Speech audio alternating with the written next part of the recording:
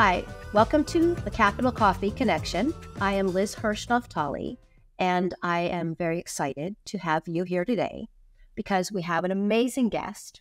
One of the reasons why I love this podcast is because I get to meet new people who are leaders, and we do not talk about politics and policy, but rather we're talking about the heart, the humanity, the home, where they came from, and what made them who they are today. I'm really excited to have Sarah here. Sarah McBride is currently a state senator in Delaware, and she is running for the U.S. Congress for the seat that currently Lisa Blunt Rochester has, and Lisa is running for Senate now. One of the things that I was thinking about when I was preparing this was that you are the first of many things. You've done a lot of firsts. And it's interesting because Delaware is the first nation to have ratified the Constitution. And so in its nickname is the first state. So I thought that was kind of appropriate that you are from the first state and you have done a lot of firsts. And we're going to learn a lot about them today. But I just want to say welcome and thank you for joining me. And I look forward to learning more about you. And I'm excited for this conversation. Well, thank you so much for having me. I'm thrilled to be here to, today, too. One of the things that I was thinking about is, you know, if we take away the title and we just look at each other and we could be having coffee at a, a coffee shop anywhere in the world and we're just talking person to person. We have so much more in common than what sometimes separates us by titles or by party status or things like that. So I hope through this conversation that we just really have it as free flowing and that we just enjoy our conversation. So one of the things that I talked about in the beginning is that you're a first of many. Three things that I kind of pulled out was that you are the first transgender state senator in Delaware and in the United States. You are the first transgender woman to or transgender person to speak at a convention. And you spoke at the 2016 Democratic Convention. I was there and I remember actually. And that moment, that historical moment. And when you win this race, you will be the first US congressperson who is transgender. What does that mean? And what else am I missing that you're the first of? I mean, it is absolutely incredible that I am living a life that would have seemed so impossible to me as a kid that it was almost incomprehensible. I pinch myself every single day. And, you know, in many ways, I think I am forever hopeful in part because my life in this moment is an impossibility.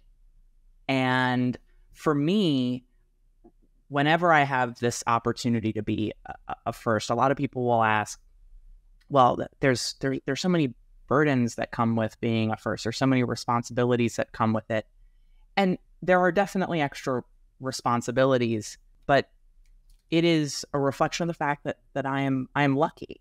I'm lucky to have these opportunities as a trans person, and I don't think that you should have to be lucky to have these opportunities. And so, one of the things that Vice President Harris always talks about is that while she may be a first, she can't be a last. And for me, my my goal in in these opportunities is one to take stock in the fact that I am living a life that I never dreamed was possible. I take stock in the luck that I have had within this community that I'm a part of to have these opportunities. But more than that, I do feel a, a responsibility to make sure that I'm not just leaving a Sarah-sized hole in the wall, right that I'm using those positions and those those roles to bring down the barriers that stand in the way of not just trans people, but anyone who's been excluded from fully participating in our democracy or, or pursuing their dreams to be able to ensure that they have a, a clear path moving forward. And I know for me that the best way for me to do that is to just do the best job that I can in those roles, to be the best state senator, to be the best member of Congress that I can be, and show that trans people are multidimensional human beings who not only love and laugh, hope and dream, fear and cry like everyone else, but also can do a really good job in the roles that we're in. I think about that, like what I was saying at the beginning. If we didn't talk about it and people just saw us speaking, they wouldn't know who I was or who you were. They would just see two women having a conversation. And the minute you put down, you know, backgrounds or who people are, which is fair and that's part of a conversation, people can start judging. Yeah. And and so I think that when you talk about that transgender people can do all these things, of course they can, but there has been there have been barriers. So you're breaking them. And one of the things that I like to talk about is like where you come from. And obviously, you're from Wilmington, Delaware, and you grew up in five people household, Yep. mother and father. And I'd love for you to tell us a little bit about your parents, a little bit about your brothers. But like in that context, what it felt like to grow up, because I know you had struggles back Yeah. then, which I think gave you a resilience so that you could be who you are today. I grew up three blocks from where I live right now in the district I now represent. My parents still live in the same house that I was born and raised in. And I always say I lucked out in the parent lottery. My dad is, he's an attorney, but on top of that, he is brilliant and compassionate funny. My mom is smart and goofy and unbelievably committed. She's one of the most they're they're both incredibly determined and tireless individuals when they set their minds to something. You know, despite the fact that I struggled as a young person and I was in the closet, I consider myself really fortunate that I knew from as early as I can remember knowing that I was trans. I can remember thinking my parents are going to struggle with this, but I don't ever have to fear that they won't love me because of this, because they are just open-hearted uh, and and open-minded people that I'm really really proud to consider not just parents but two of my best friends. And then I also have two older brothers, 8 and 10 years older than me, so I'm I'm sort of a mix between the youngest and an only child. Right. Two older brothers who uh, are amazing. One is an attorney in Delaware. He is uh, at the Department of Justice and heads up the Division of Civil Rights and Public Trust in the State Department of Justice. My other brother is a radiation oncologist up here in New York, actually, at Memorial Sloan Kettering. And in many ways, my oldest brother, the, the doctor who was openly gay, was sort of a trailblazer in our family because I watched I watched when I was 11, 12, 13, 14, my brother coming out and my family not just enveloping him with love, but the person he was dating at the time who has become his husband and the father to their three wonderful kids. And I think it, it gave me permission to begin to grapple with my own gender identity. You know, as as wonderful as my childhood was, as broadly speaking, as happy as I was as a kid, I always had a smile on my face. I knew from a young age that not only that I was different, I, I knew when I was five or six that I was a girl. I, didn't know why or how, but I knew. And I didn't know that there was anything I could do about it. I didn't know that there was anyone else like me. And so I would go to sleep at night praying that the universe would intervene and I would just wake up as myself. But obviously that never came. What did come was the realization that that this is an experience that other people have. But it also came in the context of a of a TV show with a guest character whose character was revealed to be trans during the course of the episode. It was a comedy called Just Shoot Me. Okay. And y- by the standards of 1999, 2000, 2001, it wasn't particularly egregiously offensive in in its portrayal of a trans person, but that was that's partly a byproduct of the fact that everything back then it was either you know the story was either the, a dead body in a drama or a punchline in a comedy when it was a trans character and during the course of this episode as it was revealed that the character if it was beautiful was trans every time someone would express any kind of interest in her the laugh track would cue. And at 10 you don't know a lot but you know you don't want to be a joke. And so i buried my gender identity deep inside and I- told myself that if I could do good and be good and make my family proud, that perhaps those things would fill the void in my life and heal the pain, which, you know, I think one of the challenges that we have in conversations around trans people is that unlike sexual orientation, where pretty much everyone understands what it feels like to love and to lust, most people don't have an analogous experience to what it feels like to be trans and in the closet. And for me, the closest that that pain comes to was just this constant feeling of homesickness. And Which I don't think most people can understand it, it, if you don't have it. you, you you can't. I mean, most people understand what it feels like to be homesick, right? And they understand sort of the But the- not in that same internal deep way. right not in not with that depth and i think it becomes hard to jump into a person's lived experience if you don't have that kind of Right. analogous experience and so it was a, a- life of of of you know, in many ways, joy and wonderful opportunities, but also just this constant, constant, almost all consuming and eventually all consuming. But it gave you some resilience. It gave you something that gave you the ability because when you decided to announce and come out, you were still young. You were in college. And, you know, one of the things that I learned is that you were the student body president at American University. When you decided to come out was at the end of your term. But the interesting thing was, and this is what I wanted to talk about, was that you really didn't know people would stick by you. And it's that vulnerability that you took a big chance on. And and talk about that because I think you were surprised yeah. with how people embraced you after. You know, in many ways, in order for me to come out, I had to go through a grieving process. I went through a, a process of grieving really any kind of future for myself and when I finally accepted the loss of any kind of future, I was able to accept myself.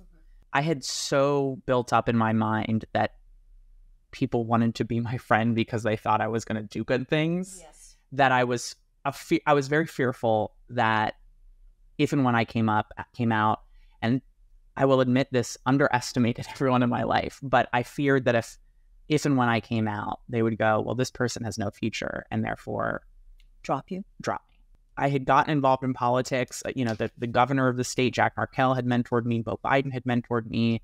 You know, they sort of signaled that I was someone they wanted to see do something with my life. And so I, I basically gave up on on that future. I gave up on being involved in politics, of doing work I love, finding love, living in a community I love. To your question, I came out publicly and shared my story because I knew that people would talk, right? People would gossip. I was student body president.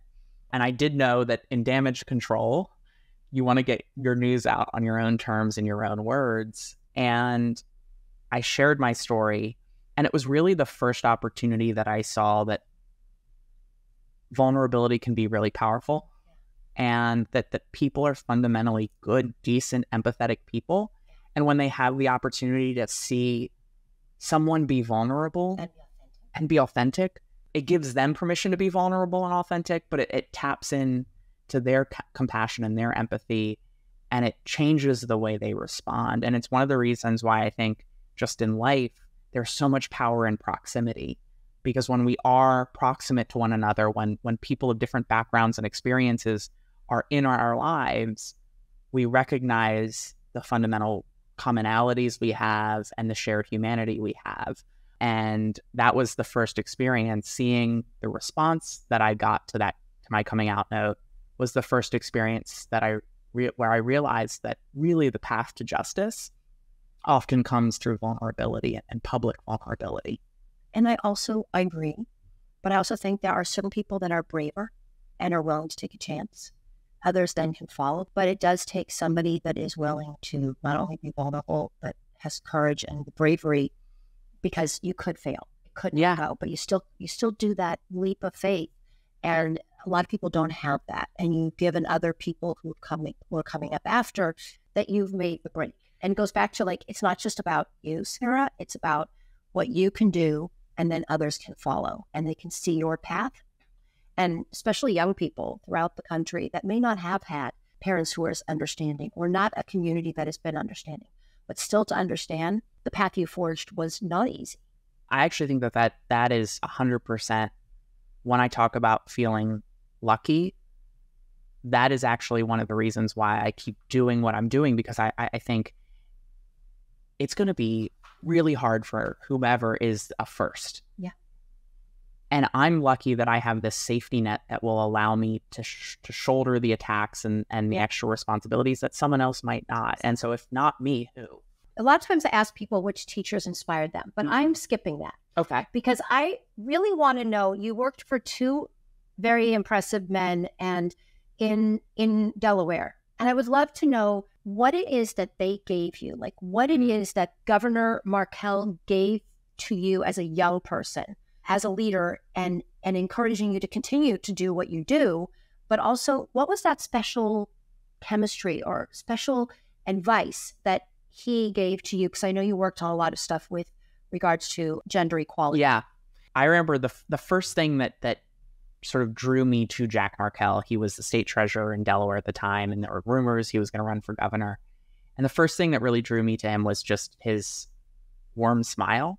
It just seems so authentic and and like such a safe space for me as a 13 year old kid volunteering, intimidated by all these all these adults and all these elected officials. He was he was just truly kind and his smile and the warmth of his smile communicated that he actually saw me mm-hmm. and wanted to to to get to know me as a person. And and I think anyone who's worked with Jack will tell you that that he is one of the most genuine people and he will you have a conversation with him three years later he will remember every detail of that conversation i mean he, it is it, he internalizes who people are in such a really profound and authentic way but i think for me you know first off he opened a lot of doors for me i am incredibly lucky that he gave me opportunities and saw in me maybe something that i wouldn't have known was there. I think he he gave me a confidence that I could be up to jobs like this. He believed in me and and I think again when I was in the process of coming out, I knew how wonderful he was, but I worried that folks who had mentored me would would would stop believing in me.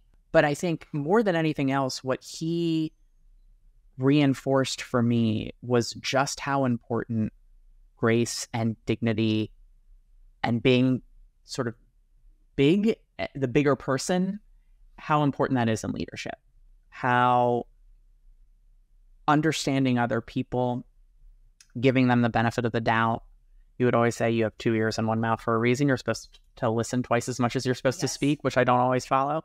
But he sort of it, it's that grace and, and and dignity that he has I, every single day I ask myself, what would what would Jack do in this context? And the answer is just always, what is the kindest thing to do? What is the what is the the most compassionate thing to do?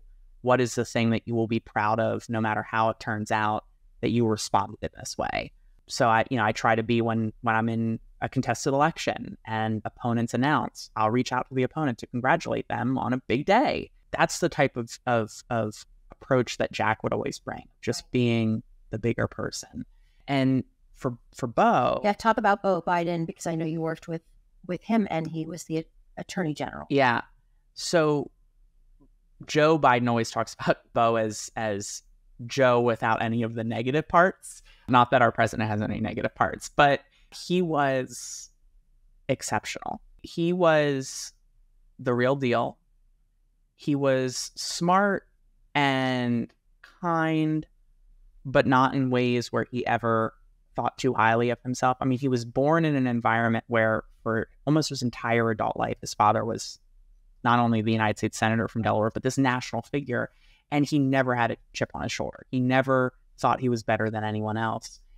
And even even more importantly, I think he was exactly the same person when we were in the car driving to an event, just the two of us, as he was out in the public what you saw was what you got and it was just a genuineness he was just a decent is the best word i can think of decent person and i think that authenticity right and that consistency of character across circumstance regardless of what the power dynamics are that consistency of character um, to me is how every person who considers himself progressive should be you know a lot of times we'll see people in the news who are progressive icons, but you know they don't treat their staff well, or you know they don't treat people who uh, you know are in their office particularly well. And I think that that's I don't think you can call yourself a true progressive if you don't live the values that you're fighting for at work in your own life. And Beau did that.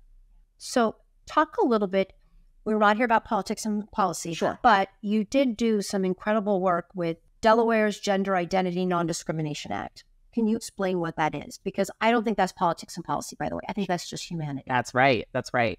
So, you know, after I after I came out, my my dream was always to come back to Delaware. And at that point, Delaware was one of the majority of states, which is still true to this day, that did not have clear protections from discrimination for trans people.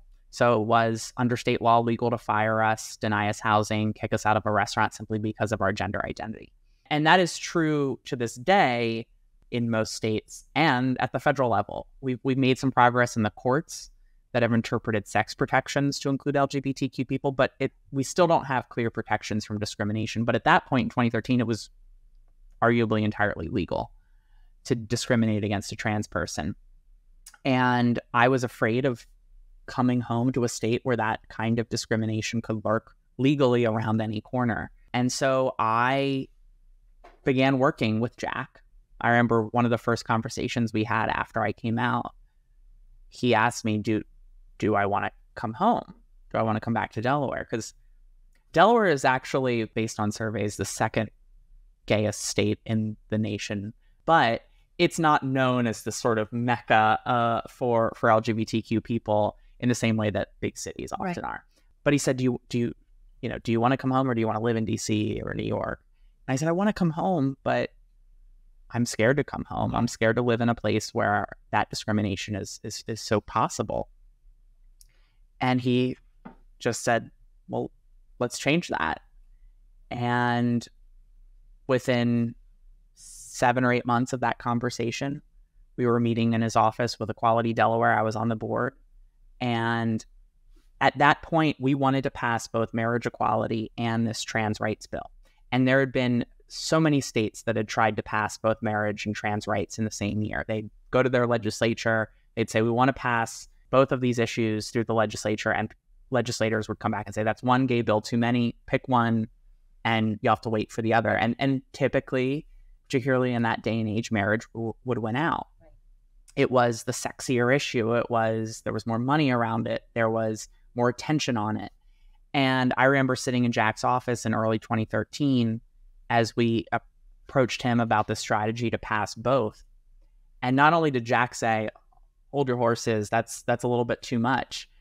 Every time the conversation would get too focused on marriage, Jack would bring it back to trans rights.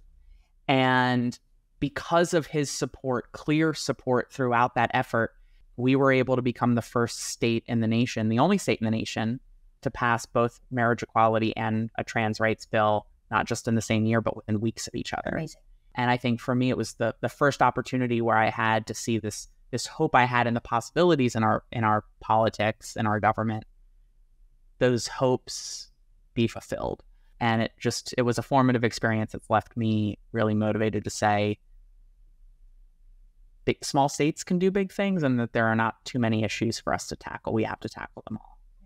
Just briefly, because I, I just want you to be able to explain to people what the Human Rights Campaign is. Sure. Because I don't think people know what the Human Rights Campaign is Yeah. So the Human Rights Campaign, HRC, which I served as their national spokesperson for a while, is the nation's largest LGBTQ equal rights organization. It's fighting for both lived and legal equality across the country for LGBTQ people. So it's working on passing non discrimination protections, but it's also working on cultural change. It's working on opening hearts and changing minds. It's working on advancing inclusive policies in the business world or in hospitals or in, in, in our schools. And it's the organization with that blue background with the yellow equal sign on it, which is how most people know it. And the reason why it's called the Human Rights Campaign and not anything else, not something more LGBTQ specific, is because back when it was founded in the early 80s, it was so stigmatized to even be supportive of LGBTQ rights that they had to pick this generic name. So if you were supporting the organization, the postal worker who was delivering your mail wouldn't know that it was an LGBTQ group. Your neighbor who might see your mail if you're in an apartment building wouldn't know. Your parents or your children that people wouldn't know. What year? Uh, so in the 80s. Yeah. In the 80s. And it's grown into, I think, one of the most effective equal rights organizations in, in the world. Yes. In 2018, you wrote a book, and I read it very quickly because I really wanted to know about you, and it was fascinating. and And it's a good, and it's not. I'm not saying easy because it's there's tough stuff in it, but it's an easy read, meaning it's very mm-hmm. digestible. It's called "Tomorrow Will Be Different: Love, Loss, and the Fight for Trans Equality." And I know that you wrote it yourself. Could you talk a little bit about that process and just briefly, like what it means to you, so that if somebody is listening to this and they want to pick up this book, what they're going to learn from it? First off, writing a, writing a memoir is always difficult. I'd like to point out, writing a memoir at 30, how old I was you? I was 27. Okay, well, memoir at 27 is just you know a little bit cute. Or yeah. I was, I'm I was, I was. I was like, I was like, oh, I'm a little insufferable that Yeah. I'm writing a memoir at this age. But memoir part one. yeah, but I, I always say I, I had a lot of life in, in particularly those, those years between 2012 when I came out and, and 2018 when I wrote the book. Because it- was not just the story of my coming out, it was not just the story of my advocacy, but more than anything else, it was a love story about my relationship with with my late husband Andy, who has left me profoundly changed in so many ways, and was, you know, I talk about Jack, Jack and Beau, but no one has impacted me more th- than than Andy, and it was the story of my caregiving of him, the story of our romance, the story of his to talk about bravery and perseverance in the face of terminal Yeah. cancer that I shared in that book. I think one, it is incredibly important to understand that he was a trans man, I'm a trans woman, that trans people are people, and and that story I think is a, a, a tragic example of that, um, a beautiful example of that in other ways. But I wrote the book more than anything else because it was right after Donald Trump's election, and for me, my experience over those years was a journey back to hope including the loss of Andy. It was it was the most beautiful tragic thing that I had ever seen because what I saw in those years was not only change that I thought was impossible becoming reality, but also what I saw in the depths of those years, the, the darkest points in those years, is that all of us, all of us can bear witness to acts of amazing grace, and that hope as an emotion, as a phenomenon, it only makes sense in the face of hardship. And so, in this moment, what, after Donald Trump's election and and and just a, a level of hopelessness and despair that I think so many of us were feeling, I wanted to provide people a, a, a not only pathway to advocacy and not only a pathway to empathy for trans folks, but more than anything else, a, a- pathway back to hope that not only is change possible, but that it's often in our biggest challenges as individuals and as a country, a humanity, that we take our biggest steps forward. First, I would like to say this, which is what you and Andy shared in four years. Many people never have in their lifetime. And it, it, it it's really a beautiful story. And I know one how much that it was really for you and for him this this ability to actually move forward in this trans world and to understand you had each other's back. But I, I loved what you wrote that he taught you that every day matters when it comes to building a world where every person can live their life to the fullest. And even though it was short, you both lived your lives together to the fullest. And I just love how, like, in your vows, it wasn't, you know, you kept it about, I will always love you. And yeah that is 100% true for for those who who haven't read it we he was diagnosed with cancer. He got great health care. He had health insurance. We both had access to flexibility with our employer that allowed us to focus on the full-time job of him hopefully getting care that would save his life and me to focus on loving him and caring for him. And when he found out that his cancer was terminal our friends and family organized this wedding for us which we had four or five days before his passing. And as I wrote the service with the clergy member, Bishop Gene Robinson, who officiated, I went through and took out Till Death Do Us Part and replaced it with Forever and Ever. And to your point, I- I not only do I think about Andy every day, not only do I, I ask myself, you know, like with Jack, what would Andy do in various circumstances? And the answers are very similar for both of them because they're both just decent, kind people. But also, what I'm doing now is so focused on carrying on his legacy. So, his passion was expanding access to healthcare for people. And now I have the privilege of serving as the chair of our health committee in the Senate. And again, uh, we both were able to spend this precious time together because we had some form of paid leave him through a formal policy, me through the grace and favor of, of my employer. And so in the legislature, I introduced and passed paid family and medical leave really as a, a love letter to Andy and an effort to carry on his work and his legacy. okay, I'm going to switch to just a few questions for people to get to know you. Sure. Because I mean, through our conversation, I think people have really gotten to know who you are. Uh, what is your favorite sound? I don't know if you've ever heard of misophonia, but I have a hard time with like staccato repetitive sounds. So I live by the sounds of a box fan constantly. If I put on a YouTube video of a box fan, I can go to sleep instantly. Wow. And so I would say that my favorite sound is a box fan. Okay. Sound. Um, I'm going to try that one. Uh, what is your favorite color? Blue. Favorite smell? Well, I think the like public answer is walking into a, a home with a home cooked me- meal being being cooked, but I think for me, I used to play all the time in my parents' basement as a kid, and so the smell of a musty basement brings back certain memories for me. It's like yeah. I just yeah feel comforting. it. Um, it's very comforting. Okay. Exercise? Do you do exercise? Okay. If I want to. Okay. Well, I aspire to. Running for running for the Congress is exercise. Yeah. Yeah. Exactly. Yeah. I don't. I don't. I don't run each day. I run for office. Yeah. Okay, that's fair if you could have one meal on a desert island, uh, what would that be? I love fried food so deeply. So probably fried chicken, which probably wouldn't be good on a deserted island, but fried chicken. Okay. But this is your desert island, so you can have I can have whatever I want. Yeah. What is your favorite household chore? Does going grocery shopping count? Is that a household chore? I, I consider it a chore. Okay. Okay. So grocery shopping, if you consider it a chore, if not, what would be the other one? In the ah, house. I I love tidying up, but I need company to tidy up. So I always have to have company over, but I actually really like tidying up. Okay. What is your superpower?